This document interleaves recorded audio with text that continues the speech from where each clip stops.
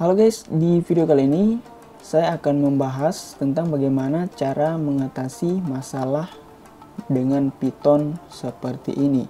Masalahnya tertulis di sini Python was not found run without argument to install from the Microsoft Store. Dan dia bilang pusing saya dari semalam nyari solusinya nggak ngerti dan saya bilang install Python dari Microsoft Store. Dan dia bilang udah mas mas nggak bisa. Saya minta tolong masnya ya. Oke. Nah ini ada caranya. Awalnya saya juga mengalami masalah seperti ini guys. Awalnya saya mengalami masalah seperti ini.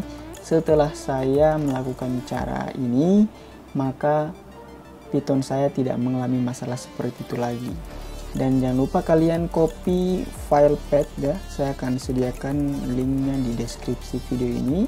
Kalian copy file kedua file path ini ya ke dalam sistem environment variable ya. Kalian ketik saja di pencarian sistem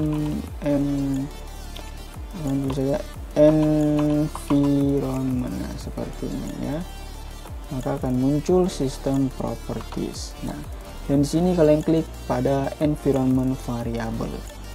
Dan di bagian path-nya, di bagian path ini kalian jangan lupa klik edit dan kalian klik new.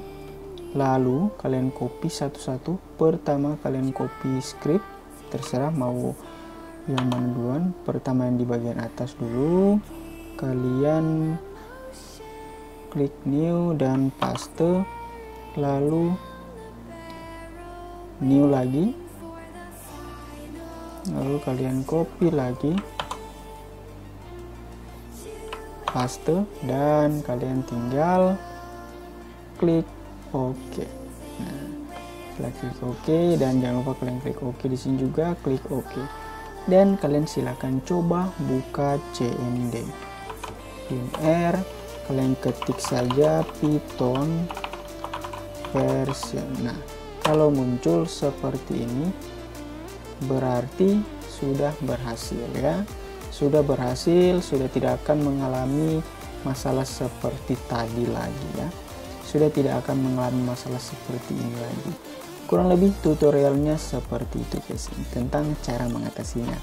Oke sampai di sini dulu video kali ini dan sampai ketemu di video selanjutnya.